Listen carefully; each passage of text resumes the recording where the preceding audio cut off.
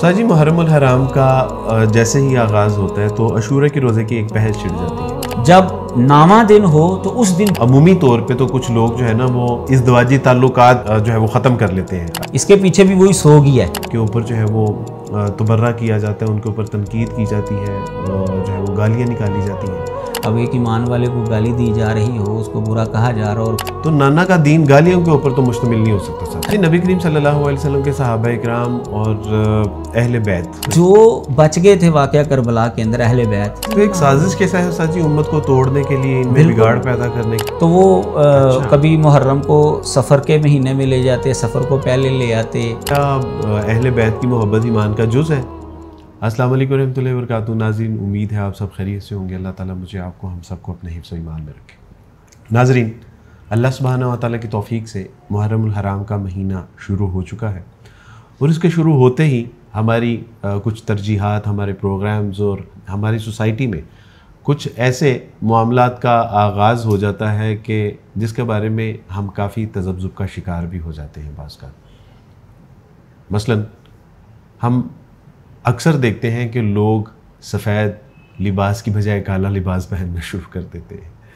अक्सर घरों में ये भी देखा गया कि उनके यहाँ जो है वो चूल्हे बंद कर दिए जाते हैं, उनके यहाँ शादी ब्याह और दीगर मामूलात से इजतनाब करना शुरू हो जाते हैं।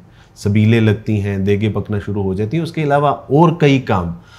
तो अवामनास की तरफ़ से हमें काफ़ी इस तरह के सवाल आए कि अब्दुल वारिस भाई मुहरम हराम के हवाले से क्या इसकी फजीलत है, क्या इसकी अहमियत है, क्या वाकई ये रंजो अलम का महीना है? या इसके हवाले से दीगर जो मामूलत ज़ोर शोर पकड़ लेते हैं, उसके हवाले से कुरान और सुन्नत की रोशनी में आप रहनुमाई फरमाइए। तो बहुत मुनासिब समझा कि हम उलमा कराम से जो है वो इन जो तमाम सवालात हैं, जब माशरे में होने वाले मामलात हैं, इसके बारे में कराम से जो है वो रहनुमाई लेते तो आज अल्लाह सुबहाना ताला की तोफ़ी से हमारे उस्ताद मौलाना खावर रशीद भट्ट साहब, जो कि मुख्तलिफ़ मदारस में अलहमदिल्ला तदरीस की ज़िम्मेदारी भी अदा कर रहे हैं शेखुल हदीस हैं। हकूक़नास वेलफेयर फाउंडेशन में सीरा डिपार्टमेंट के हेड भी हैं। कंपैरेटिव और तकाबल ध्यान में अल्लाह सुबहाना ताला ने यद तूला अता फरमा रखा है। तो आइए उस्ताद जी से बात करते हैं। अस्सलाम वालेकुम रहमतुल्लाहि व बरकातहू वालेकुम सलाम। आप खैरियत से उस्ताद जी तबीयत अच्छी है? अल्हम्दुलिल्लाह। उस्ताद जी बहुत ज़्यादा सवाल हैं। एक एक करके आपसे पूछते हैं और फिर अल्लाह सुबहाना ताला हमें तौफीक अता फरमाए कि जो इसके फ़ज़ाइल हैं इसके जो अहम पहलू हैं और जो फिर करने के काम है अल्लाह सुबहाना ताला उनको हमें समझ के उस पर अमल करने की भी तौफीक अता फरमाए। तो साजी सबसे पहले हम जानना चाहते हैं कि ये माह मुहर्रम की इस्लाम में क्या अहमियत है?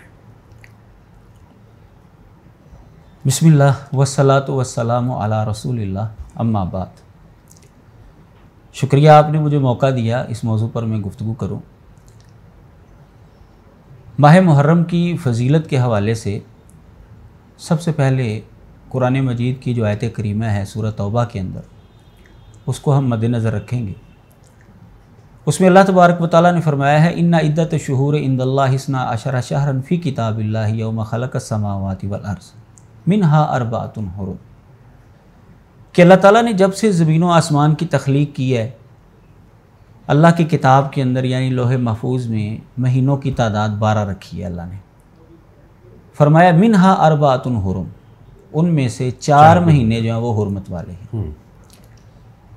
अल्लाह तबारक व ताली ने उन बारह महीनों में से चार महीनों का अलग तौर पर तस्करा किया है कि इनकी अहमियत इनके खसूसियत बाकी आठ महीनों के मुकाबले में अलग है।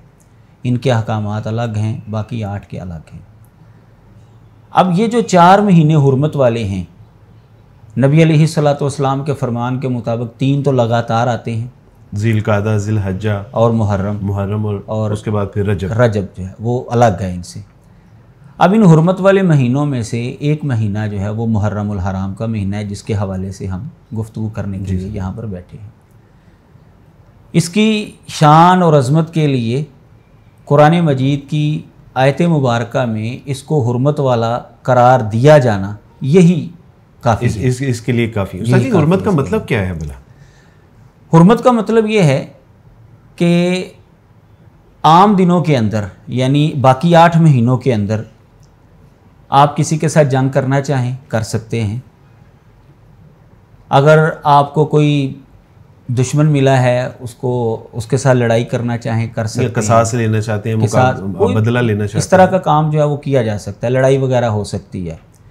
लेकिन इन चार महीनों के अंदर आप किसी से जंग की इब्तदा नहीं कर सकते। अच्छा इब्तदा नहीं कर सकते। अगर कोई आप पे हमला करता है तो दिफाई जी दिफाई आ... लड़ाई तो की जा सकती है इकदामी लड़ाई नहीं आप कर सकते। अच्छा इन हरमत वाले महीनों में जो है ना इस चीज़ का लिहाज रखा जाता है। सच ये भी आता है अरब के लोग जो है वो बाजुकात इस महीने में यानी जो कबीले लूट मार किया करते थे तो वो इससे भी बाज आ जाया करते थे। यहाँ तक कि उनके वाल वालद का बाप का भाई का अगर कोई कातिल मिल जाता था तो उसके ऊपर भी जो है ये हाथ नहीं उठाया कर यानी उनके यहाँ हुरमत वाले महीनों का वो बड़ा ख्याल रखा करते थे लेकिन वो अपने मतलब के लिए इसके अंदर रद्दोबदल भी कर देते थे। इसी आयत के अंदर अल्लाह ताला ने जो बात बयान की है कि महीनों के अंदर आगे पीछे करना जो है ना ये कुफ्र है।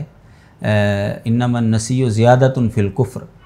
तो वो अ, कभी मुहर्रम को सफ़र के महीने में ले जाते सफ़र को पहले ले आते तो ये उनका तरीकाकार था अपने मतलब को पूरा करने ये के तोरिया लिए। था तरह से हीला था लेकिन उससे ये बात तो समझ में आती है कि वो समझते थे हम्म। कि हुरमत वाला महीना उसको अल्टरनेट पेश करते जी वो हुरमत वाले महीने का हमने ख्याल रखना है हम्म, हम्म। तो इस्लाम ने आकर जो है उसी चीज़ को कायम रखा क्योंकि अल्लाह ताला ने शुरू से ही इन चार महीनों को हुरमत वाला करार दिया है उस्ताद जी इसकी फजीलत यहाँ से ही पता चलती है कि इसको एक हदीस में शाहरुल्लाह भी कहा गया। जी जी बिल्कुल। नबी अलैहिस्सलाम का ये फरमान है कि अफजल सियाम बाद शाहर रमज़ान। शहरुल्लाहिल मुहर्रम। के रमज़ान के महीने के रोज़ों के बाद अफजल तरीन रोज़े जो हैं वो अल्लाह का जो महीना है शहरुल्लाह शहरुल्लाह कहा गया इसको। अल्लाह का जो महीना मुहर्रम है उसके रोज़े हैं। वैसे तो उस्ताद जी सारे महीने अल्लाह के ही हैं तो इसको एजाज के जी लिए बिल्कुल एजाज़ के तौर पर जो है इसको ये कहा गया है कि अल्लाह ताला की तरफ़ जो इस महीने की नस्बत की गई है। हम्म, ये बिल्कुल एजाज़ है। और इसी तरह जो है नबी सलाम का ये फरमान भी मौजूद है इस महीने की फजीलत के हवाले से कि अशूरे का रोज़ा जो है नबी अलैहिस्सलाम ने फरमाया कि जो अशूरे का रोज़ा रखता है मुझे उम्मीद है अल्लाह पर कि उसके पिछले एक साल के गुनाह जो है अल्लाह ताला माफ़ फरमा यानी इस इस महीने की नस्बत से इसका एक, दिन का रोज़ा अशूरे का रोज़ा जो रखेगा उसका जो है वो एक साल के गुनाह है रोज़े के हवाले से ना तफसील से आपसे हमने समझना है। बल्कि इसमें जो है वो एक इख्तलाफ भी है कि नौ का रखना है दस का रखना है आप इस्लाम का अमल क्या था हुक्म क्या था उसमें इंशाल्लाह हम जो है वो तफसील से आपसे पूछेंगे। सर जी इसमें आप ये देखिए कि हमारा जो इस्लामी कैलेंडर है उसका आगाज़ भी इसी महीने से होता है। तो इसका तो फिर फितरी तकाजा ये है कि ये हमारे लिए खुशी का प्लानिंग का नई उमंगों का नई उम्मीदों का नए जज्बों का महीना है। तो क्या वजह है कि कुछ ख़ास तरह के लोग अब कुछ ख़ास तरह के लोग नहीं साजी बल्कि अब अहल सुन्नत वाली जमात के भी अक्सर लोग जो है वो अ, इन इन मामलात में मुब्तला होते जा रहे हैं। कि उनके यहाँ इसको जो है वो सोग का जो है एक समा कायम हो जाता है। तो अच्छा इसके लिए जो है ना पहले नंबर पर बुनियादी चीज़ हमें ये समझने की है हमारे लिए कि दीन इस्लाम जो है रसूलुल्लाह सल्लल्लाहु अलैहि वसल्लम की ज़िंदगी में मुकम्मल हो चुका था। अल्हम्दुलिल्लाह। अल्लाह ताला ने फरमाया है अलयौम अकमल तो लकुम दीनकुम वातममतु अलैकुम। व इस्लाम दीना। हजतुल विदा के मौके पर जब ये आयत करीमा उतरी दीन इस्लाम जो है वो अल्लाह ताला ने मुकम्मल कर दिया। नबी वस्सलाम के ज़माने तक जो भी शरीयत का हुक्म आना था वो आ चुका। जो तब्दीली होनी थी वो हो चुकी। नबी वस्सलाम के गुज़र जाने के बाद अगर किसी ने कोई मसाला किया है कोई हुक्म जारी किया है वो दीन इस्लाम का हिस्सा नहीं है। उसकी अगर उसकी दलील सकती है। नबी इस्लाम के ज़माने से नहीं मिल रही तो। ठीक है। वो उनकी ज़ाती राय तो हो सकती है। ज़ाती ख्याल तो हो सकता है। वो शरीयत इस्लाम का हिस्सा नहीं लेकिन उस्ताद जी इससे जो है वो ये देखें ना कि इसका मतलब ये भी तो नहीं है ना कि अगर शहादत हुसैन रज़ी अल्लाह अन्हो इस इन इस इस अशरे में वकुआ हुआ है तो उसका रंजो गम ना हो एक मोमिन को। जी मैं इसी तरफ़ आ रहा हूँ। जब हमने बुनियादी चीज़ ये समझ ली तो जो अहबाब सैदना हुसैन रज़ी अल्लाह अन्हो की शहादत की वजह से इस महीने को सोग का महीना कहते हैं या अफसोस का महीना कहते हैं वो खुद कह रहे हैं खुद उनका नज़रिया है बल्कि इसके अंदर तो कोई दो राय है ही नहीं कि सैदना हुसैन रज़ी अल्लाह अन्हु की शहादत जो है वो नबी अलैहिस्सलाम की वफ़ात के पचास साल बाद जाकर हुई है। अब पचास साल बाद जाकर एक अमल हुआ हो तो, तो वो दीन नहीं वो दीन का हिस्सा जो है वो कैसे उसके नतीजे में हम दीन के अंदर एक कैसे मसला जो है वो खड़ा कर सकते हैं? अगर अब किसी की शहादत की वजह से कोई दिन या कोई महीना जो है वो अफसोस का करार दिया जाना है क़्यामत तक तो ये इख्तियार था नबी अलैहिस्सलाम को अल्लाह ताला की जानब से कि वो शरीयत बयान करते। अल्लाह ताला नाजल करते। नबी अलैहिस्सलाम लोगों को बताते भाई अगर किसी की शहादत हो जाए तो वो महीना या वो दस दिन या वो एक दिन क़यामत तक जो है वो तुमने अफसोस के साथ जो है वो गुजारना है। हम्म, तो हमें तो ऐसी कोई दलील नहीं मिलती। ना कुरान मजीद के अंदर ऐसी कोई दलील है ना नबी अलैहिस्सलाम के फरमान के अंदर ऐसी कोई दलील है। ज़्यादा से ज़्यादा जो हमें चीज़ मिलती है वो ये है कि जब कोई दुनिया से रुखसत हो जाए तो नबी अलैहिस्सलाम ने तीन दिन उसके सोग के लिए मुकर किए। उसके अलावा जिसने सोग मनाया और- उसने अगर वो खामद बतौर खामद फौत हुआ है तो उसकी बीवी अगर हयात है तो वो चार महीने दस दिन तक जो है वो इद्दत में रहेगी वो सोग में रहेगी। इसके अलावा नबी अलैहिस्सलाम ने कोई सूरत बयान नहीं की सोग की। इसका मतलब ये है कि एक वाक़ नबी अलैहिस्सलाम की वफ़ात के पचास साल बाद हो रहा है तो उसके नतीजे में इस्लाम के अंदर एक मसला कैसे शामिल किया जा सकता है? लामहला जिन्होंने ये नज़रिया कायम किया है ये उनकी ज़ाती राय है। ज़ाती ख्याल है इस्लाम के साथ इसका कोई ताल्लुक़ नहीं है। और अगर मेरा ख्याल है कि ये इसी बुनियाद के ऊपर कि वो नवासा रसूल थे अहले बैत में से थे तो फिर कई ऐसे लोग हैं कि जिनकी मजलूमाना शा- शहादतें वक- वकुआ हुई हैं। फिर सहाबा कराम हैं फिर सल्लल्लाहु अलैहि वसल्लम के और अज़ीज़ अकरबा थे। तो मेरा ख्याल है कि फिर तो ये सारा साल ही सिलसिला चलेगा। सैदना हुसैन रज़ी अल्लाह की शहादत से थोड़ा सा पीछे आए। क्या हज़रत हसन रज़ी अल्लाह की शहादत नहीं हुई? अच्छा वो महीना भी फिर सोख का होना चाहिए। उससे थोड़ा सा पीछे हज़रत अली रज़ी अल्लाह की शहादत नहीं हुई? बिल्कुल हुई। वो महीना भी सोख का होना चाहिए। ताला फिर उमर रज़ी अल्लाह बिल्कुल अब ये हज़रत हसन रज़ी अल्लाह ताला हज़रत अली- रज़ी अल्लाह ताला ये तो वो दो हस्तियाँ हैं जो उनके यहाँ भी जो है वो इमामत का दर्जा जो है वो रखती हैं। हम हज़रत उमर रज़ी अल्लाह ताला का या हज़रत उस्मान का अगर हवाला देंगे तो वो कह सकते हैं नहीं जी ये तो आपकी हस्तियाँ हैं। गो के हमें तो कोई प्रॉब्लम नहीं हमारे लिए वो भी काबिल एहतराम है ये भी काबिल एहतराम है। हाँ अल्हम्दुलिल्लाह। अगर ये मसला उन्होंने गढ़ना है तो इन दो हस्तियों वाले महीनों को क्यों नहीं वो सोग वाला महीना करार देते? क्या इनकी शहादत जो है मजलूमाना नहीं थी? बिल्कुल थी। हज़रत हमज़ा रज़ी अल्लाह ताला जो है वो वो तो शहीद हुए हैं सैदुलशहदा उनको लकब जो है वो दिया गया है। तो क्या उनकी शहादत जो है वो तो बाकायदा मैदान जंग के अंदर जो है वो शहीद हुए। हम्म। तो क्या वो अफसोस तो फिर तो इस्लाम उसके कातल को देखना नहीं चाहते थे वो कि वो मुसलमान हो गया था। लेकिन वो ये शायद जज्बा था कि सामने आते हैं तो चचा याद आ जाते हैं। हाँ जी। तो मेरा ख्याल है अगर ये सिलसिला हम शुरू करें तो फिर तो उस्ताद जी 360 दिनों में कोई दिन कोई दिन नहीं भी बचेगा नहीं बचेगा कि जिसके अंदर हम जो है रोज़मर्रा के काम जो है वो कर सकें फिर तो अफसोस ही अफसोस होगा। हम्म। बस अफसोस की बात यह है कि यानी को ख़ास एक तबके के जो लोग हैं, वो तो चले, उनका वो एक सिलसिला चलता आ रहा है कई सौ साल से। लेकिन उस्ताद जी, इस वक्त जो है वो अहल सुन्नत वाल जमात के हमारे जो अहबाब हैं, वो भी बेचारे बग़ैर सोचे समझे और बग़ैर तहकीक के वो भी जो है वो अ, चलो तुम उधर के हवा हो जिधर की के मिसदाक जो है वो सिलसिला कर रहे हैं। अल्लाह ताला बहरहाल हिफाजत। था जी मज़ीद इसमें थोड़ी रहनुमाई फरमाइए कि क्या वाक़ता इस महीने में शादी ब्याह या कोई खुशी के ऐसे मौक़ों को जो है वो अ, उनका इनका करने से कोई शरई तौर पर कोई ममानियत आती है? नहीं मैं जैसा कि मैंने आपको बताया कि ये वाक़या ही नबी सलाम की वफ़ात के पचास साल बाद। हुआ है। तो नबी सलाम ने तो शरीयत इस्लामिया के अंदर कोई ऐसा जो है वो मसला नहीं बयान किया कि फ़लाँ महीने में तुम खुशी नहीं मना सकते फ़लाँ में तुम मना सकते हो। अब सबसे बड़ी चीज़ नबी सलाम की रहलत हुई है। रबी अव्वल के महीने में हुई है। अ, वो नौ को हुई है या बारह को वो एक अलग बहस है। नबी सलाम की भी तो रहलत हुई है ना जी। हम्म, इसके ऊपर भी सारी उम्मत का जो है वो इत्तेफाक है। तो क्या उस महीने में जो है वो सोग मनाते हैं ये लोग। हम्म। क्या नबी सलाम के जाने का दुख नहीं है? फातिमा में भी हम सारे फातिमा, रज़ी अल्लाह अन्हा का ये कौल है कि मेरे ऊपर ऐसी मुसीबतें आई हैं कि अगर वो दिन पर आती ना तो वो रात हो जाता। हम्म। ऐसी मुसीबतें जो हैं वो मेरे ऊपर आई नबी सलाम के जाने के अंदर इतना वो दुखी हुई हैं।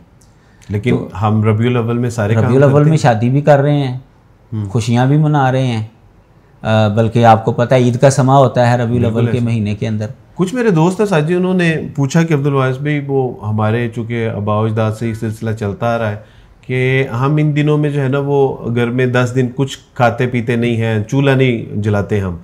और जो है वो इसका साजी कहाँ से ये इसका भी जो है ना पीछे पस मंज़र वही है सोग वाला। अच्छा। आपको पता है जिस घर में फौतगी हो जाए तो वहाँ पर जो है तीन दिन के लिए जो है खाना नहीं पकाते। ये हमारे यहाँ एक रूटीन चली आ रही है। तो शरीयत के अंदर जो है इसका भी कोई नज़रिया नहीं है लेकिन बहर वही चीज़ें पीछे वही सोग वाला महीना ही है। तो चूँकि उसकी बुनियाद कोई नहीं है शरीयत के अंदर तो वो कोई नहीं है। उस्ताद जी ये भी तो ये भी मुमकिन है। बिल्कुल जो है ना ये भी मुमकिन है कि जो सादा मिजाज लोग इस तरह के काम कर रहे हैं उन तक हमने पैगाम पहुँचाया ही ना हो। और आज जब उन तक ये बात पहुँचे कि कुरान सुन्नत से इसका कोई ताल्लुक नहीं है बल्कि इस्लाम में सिर्फ़ तीन दिन का शौक है इसके अलावा तो कोई शौक का कोई तस्वुर और वो भी वफात के मुतसिल बाद। बिल्कुल। ये नहीं कि हर साल तीन दिन। हम्म, हम्म। ऐसा नहीं मसला। यानी जब वफात जब वफात हुई है वहाँ से लेकर तीन दिन तक जो है वो सोग की इजाज़त है। ये नहीं कि हर साल जो है वो सोग मनाना है। उस्ताद जी इसमें एक और एक बहुत अजीब मसला आता है। यानी कुछ आम अमूमी तौर पे तो कुछ लोग जो है ना वो इस दवाजी ताल्लुकात अ, जो है वो ख़त्म कर लेते हैं अपनी बीवियों से। और खसूसी तौर पे जो नई दुल्हन आती है उसको अपने घरों में वापस भेज दिया जाता है। तो ये है ये भी बिल्कुल मतलब है कि कोई इस्लाम के अंदर इसका नज़रिया नहीं है। इसके पीछे भी वही सोग आई सोग ही है कि चूँकि वो सोग ही ना समझा गया और लोगों ने चूँकि आवाम है बेचारी उनका मुताला नहीं इलम नहीं उन्होंने समझा कि शायद ये शरीयत का हुक्म है। तो वो नई नवेली दुल्हन को, मुहर्रम से पहले पहले शादियाँ, शादियों के ऊपर ज़ोर होता है। जैसे ही मुहर्रम आता है, शादियाँ ख़त्म, और जो नई नवेली दुल्हन दस दिन पहले ब्याह कर आई है उसको उसके मेके भेज दिया जाता है। तो भाई शादी का फ़ायदा फिर क्या फ़र्ज़ करें ये बिल्कुल गैर इस्लामी है इसका कोई फ़र्ज़ करें हम हम अहले बैत यानी जिनके साथ ये ख़ास सोग को मंसूब किया जाता है फ़र्ज़ करें कि हम अगर अहले बैत की हालात ज़िंदगी का मुताला करें उनकी सीरतों का मुताला करें तो उनकी यानी ज़िंदगियों से ऐसे को हालात वाक़ात हमें मिलते हैं? बिल्कुल कतन हमें नहीं मिलता कि उन्होंने मुहर्रमुल हराम को सो का महीना करार दिया हो। और इस महीने के अंदर उन्होंने कोई खुशी ना मनाई हो किसी का घर में अगर बच्चे की वलादत होगी उसने हकीका ना किया हो शादी उन्होंने ना की हो अच्छा, उनसे कोई नहीं। कोई नहीं मिलता तो मेरा ख्याल है कि जो आगे हम बात करेंगे कि मुहर्रम हराम में जो करने के काम है उसमें एक चीज़ ये भी ऐड कर ली जाए कि कम से कम इस महीने में हम अहले बैत इजमाइन की ज़िंदगियों का मुताला करें। बिल्कुल। ताकि हमें पता चले कि उनकी ज़िंदगी उन्होंने क्या अमल किया है? बिल्कुल ठीक है। उनके नाम पर जो है वो लोगों को बताया जा रहा है उनका अपना ज़ाती अमल क्या था? साजी मुहर्रम हराम का जैसे ही आगाज़ होता है तो अशूरा के रोज़े की एक बहस छिड़ जाती है। कि नबी करीम सल्लल्लाहु अलैहि वसल्लम जब मदीना तशरीफ़ लाए, आपने पूछा, यहूद ने बताया कि ये रोज़ा हम इसलिए रखते हैं कि इस दिन अल्लाह सुबहाना ताला ने बनी इसराइल को आज़ादी अता फरमाई। और फ़िरौन और अहल फ़िरौन को जो है वो गरक किया तो उसकी खुशी और शुक्राने के तौर पर तो उस्ताद जी, नबी करीम सल्लल्लाहु अलैहि वसल्लम दस को रोज़ा रखना, ये आपकी सुन्नत थी, यानी जो अमल था। लेकिन आप ने इस ख्वाहिश का इजहार किया कि उनके साथ मुशाबहत ना हो यहूद के साथ। आपने फरमाया कि मैं आइंदा साल ज़िंदा रहा इन तो दस नौ का रोज़ा रखेंगे। तो साथ जी ये एक बहस छिड़ जाती है कि नौ का है दस का है अमल दस का है सुन कौल जो है वो नौ का है ख्वाहिश जो है। तो कुछ कहते हैं कि नहीं नौ का रखना चाहिए कुछ कहते हैं नहीं दस का रखना चाहिए। तो इसमें यानी दरमियानी राह क्या है? या सुन्नत के करीब तरीन कौन सा अमल है कि जिसके तहत जो है वो इंसान करें? ये अ, सवाल जो है ये बहुत ज़्यादा उठाया जाता है हमारे माशरे में और हर साल ही उठाया जाता है। बिल्कुल ऐसी है इसके लिए पहले नंबर पर तो हमें ये ख्याल रखना है कि अहल इलम का आपस में इजतहादी इख्तलाफ जो है ना उसकी गुंजाइश मौजूद है और कोई भी फ्रीक दूसरे को बुरा न ना कहे। अपनी राय दें। अपनी राय दें जिसको वो सही समझते हैं। सहाबा कराम रिजवान मजमाइन के दौर में ताबीन, इज़ाम और तबा ताबीन और आज तक ये सिलसिला चला आ रहा है। बाज़ इतिहादी मसाइल के अंदर जो है वो इख्तलाफात हमें नज़र आते हैं। लेकिन हम देखते हैं सहाबा के दौर के अंदर कोई भी सहाबी दूसरे को बुरा नहीं कहता था।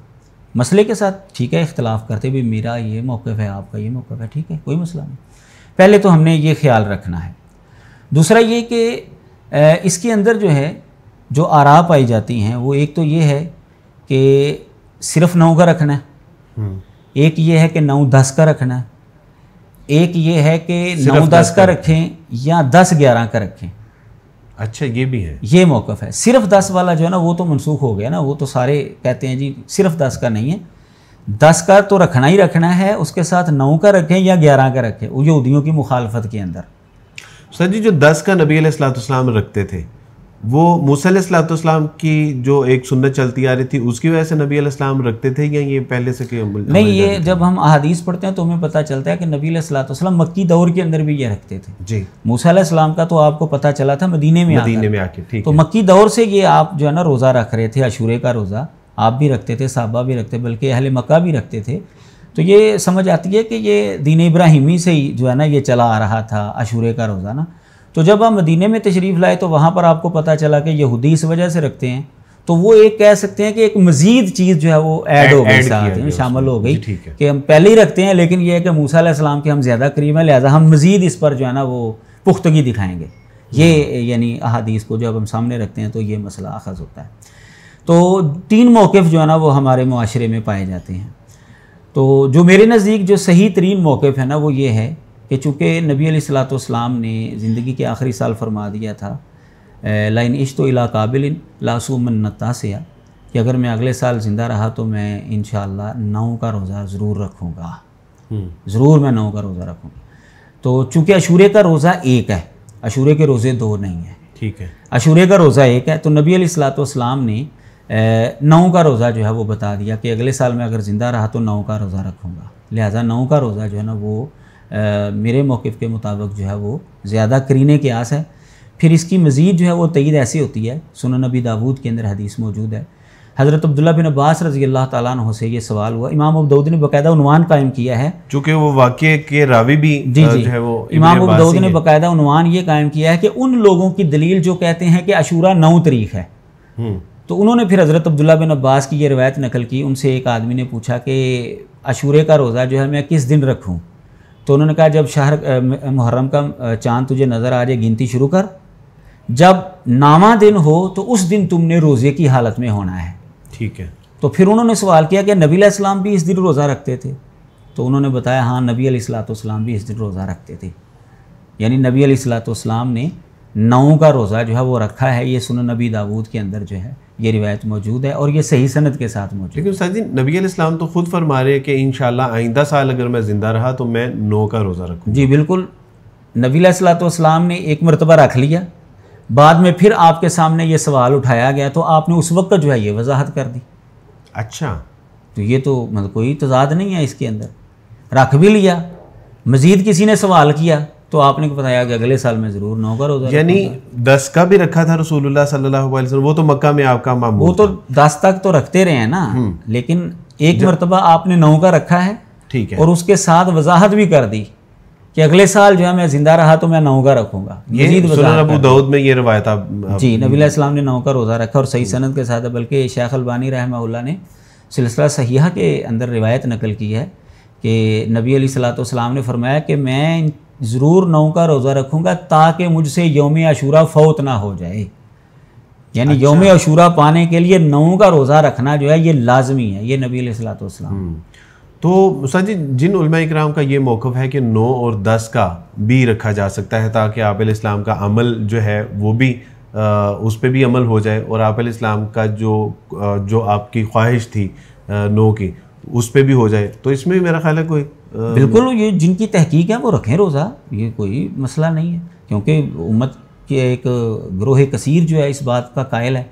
कि दस के साथ जो है वो नौ का रोज़ा जो है वो रखा जाएगा। हम्म, जिनकी ये तहकीक है वो दो रोज़े रखें जिनकी एक ही तहकीक है वो एक रोज़ा रखें। और वैसे भी रसूलुल्लाह सल्लल्लाहु अलैहि वसल्लम इस महीने में कसरत से रोज़े वो तो वैसे ही शरी मसला है कि इस महीने के रोज़े रमज़ान के बाद जो है वो अफजल तरीन रोज़े जो है वो शुमार होते हैं। उस्ताद जी नबी करीम सल्लल्लाहु अलैहि वसल्लम के सहाबा कराम और अहल बैत यानी मैंने पढ़ा भी है, सुना भी है और जब हम देखते हैं तो उनकी आपस में रिश्तेदारियाँ भी थीं, मोहब्बतें भी थीं। एक दूसरे के ऊपर जान निशावर भी करते थे और बड़े खूबसूरत ताल्लुकात थे, एक यादें हैं और किताबों से, अहादीस की और तफासिर की किताबों से उनके जो है वो ताल्लुकात का अंदाज़ा भी होता है। लेकिन क्या वजह है सर जी कि आजकल जैसे ही मुहर्रम का महीना शुरू होता है और जल से जुलूसों में मजालिस में जो है वो सहाबा कराम रिजवान इजमाइन के ऊपर जो है वो तबर्रा किया जाता है उनके ऊपर तनकीद की जाती है जो है वो गालियाँ निकाली जाती हैं। तो ये क्या सर जी इसमें क्या ये, ये ये तो बिल्कुल जो है ना ईमान के मुनाफी चीज़ है।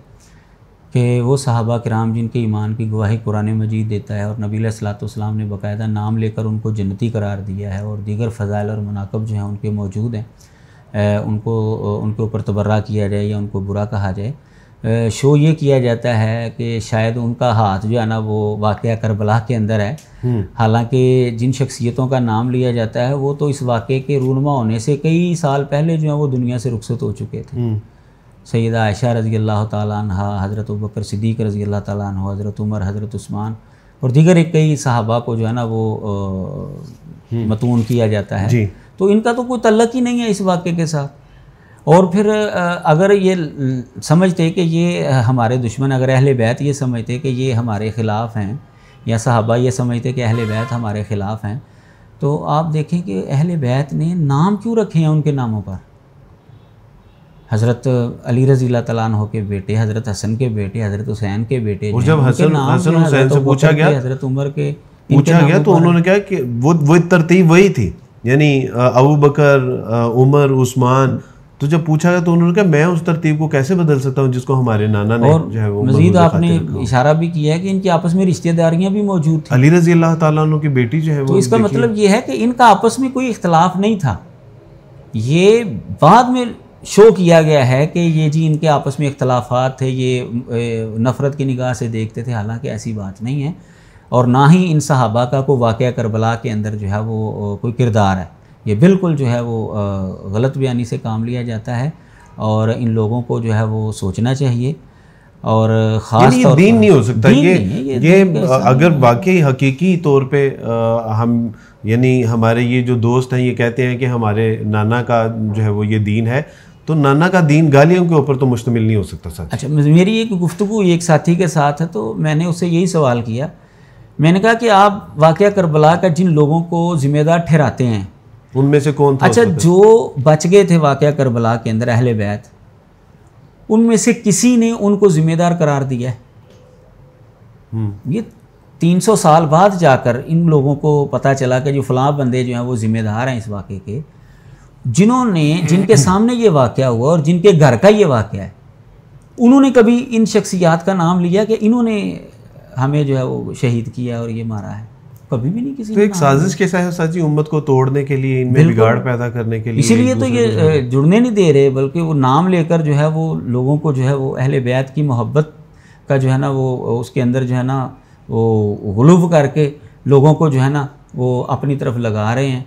और सहाबा से मुतनफ़ ये समझते हैं। कि शायद ये यानी अहल बैत हमारे लिए मैं आपको वो अपने डॉक्टर हमाद लखवी साहब उनसे एक बार सवाल हुआ था सर जी। उनसे सवाल हुआ कि क्या अहल बैत की मोहब्बत ईमान का जुज़ है? उन्होंने कहा नहीं जुज नहीं है एन मोहब्बत एन ईमान है। तो हमारा तो ये यकीन है ईमान है अहले से मोहब्बत के बगैर तो हम मतलब मुसलमान ही नहीं रह सकते बिल्कुल तो सही बात है। वही ना प्रोपोगंडा है।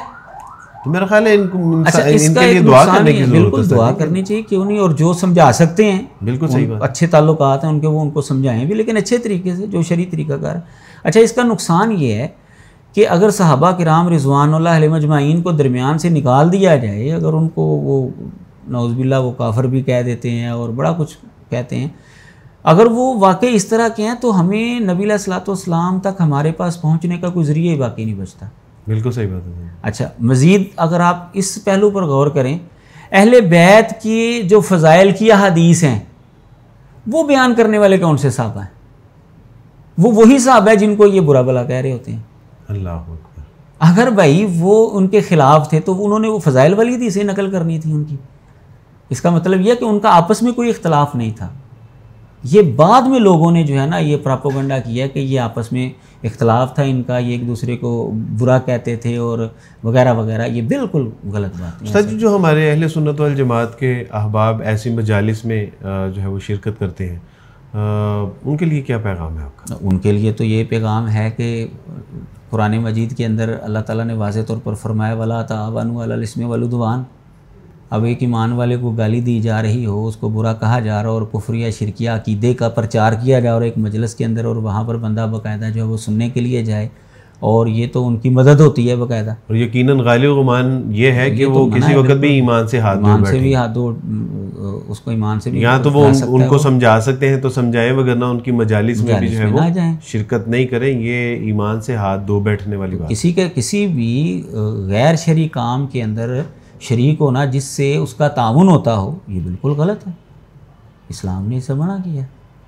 बारकल्लाफ़िकुम साजी बहुत शुक्रिया। अल्लाह सुबहाना ताला आपको जजाय कसीरत फ़रमाए। नाजरीन, उम्मीद है कि जो एतराज़ात होंगे, सवालात होंगे जहनों में, उनके तसली बख्श जवाब आपको मैसर आए होंगे।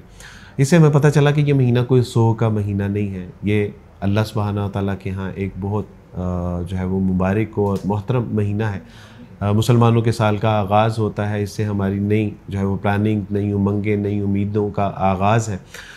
मज़ीद ये कि हमें पता चला कि अगर हमें जो है वो आ, इसको अहल बैत के साथ मंसूब करना ही है तो क्यों ना अहल बैत की ज़िंदगियों का मताल करें? क्यों ना सहाबा कराम रिजवान रजमाइन की ज़िंदगियों का मताल करें? ताकि हमें पता चले कि सहाबा कराम और अहल बैत आपस में किस दर्जे मोहब्बत किया करते थे? उनके आपस में कैसे ताल्लुक थे? वो कैसे एक दूसरे के ऊपर अपनी जान निसार किया करते थे? वो कैसे एक दूसरे के साथ रिश्तेदारियाँ निभाते थे? तो मेरा ख्याल है कि इसको अगर हम इस एंगल से देखें तो अल्लाह सुबहाना ताला से उम्मीद है कि अल्लाह सुबहाना ताला माह मुबारक को ना सिर्फ़ हमारे लिए जो है वो मोहतरम और मुकर्रम महीना बना देंगे, बल्कि आखरत की कामयाबी और कामरानी का ज़रिया भी बन जाएगा। अल्लाह सुबहाना ताला इस महीने में जो खराफात माशरे में आम है, उनसे ना सिर्फ़ बचने की तोफ़ी अता फ़रमाएँ, बल्कि हमें उन लोगों की हदायत का ज़रिया भी बना दें जो इस तरह की खराफात और बिदात का शिकार हैं। बारकल्लाफ़िकुम आप तमाम अहबाब से दुआओं की दरख्वास्त हैं। जजाकुम असन असल वरहमल वर्का